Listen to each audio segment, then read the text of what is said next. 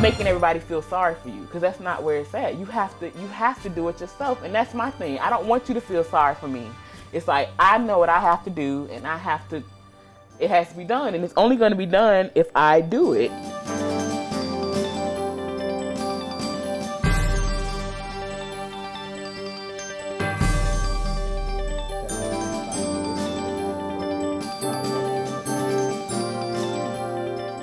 It wasn't until I started being uncomfortable with being overweight. Now you're surrounded by people who in shape and fit, and you wondering like, why that? Why can't that be me? You know. So it wasn't until I started saying, you know what, I'm gonna change. It's, it's not gonna be the same every day.